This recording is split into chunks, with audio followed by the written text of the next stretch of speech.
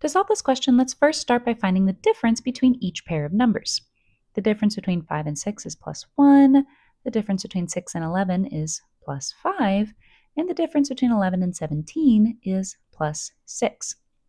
Now, there's not really a discernible pattern here at first glance, but what I do want to draw your attention to is the fact that what we are adding to our number in the series is equal to the previous number. We have plus 5 when our previous number was 5, and plus 6 when our previous number was 6. So that means we are following a Fibonacci sequence. The every number in this series is the sum of the previous two numbers. 5 plus 6 is equal to 11.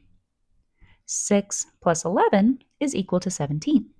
So to find the next number in our series, we need to add 11 and 17 to get Let's check it over here. We've got 1 plus 7 is 8. 1 plus 1 is 2. 28, making answer choice D our correct answer.